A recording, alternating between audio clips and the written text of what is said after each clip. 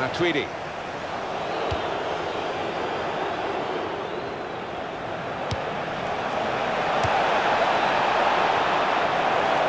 Crossed it well. Off the post.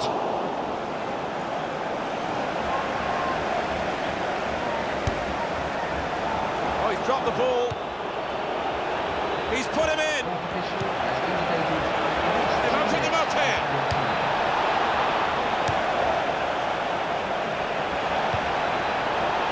Could score. And he scores spectacularly. Well, they've gone further behind, and I'm afraid the fingers are being pointed at the goalkeeper. Oh, I'm looking at the manager as well, Martin. He's probably thinking about substituting the way he's playing. Well, I didn't see it as being as one-sided as it's turned out, Martin, but uh, yet another goal and a good one too here in stoppage time.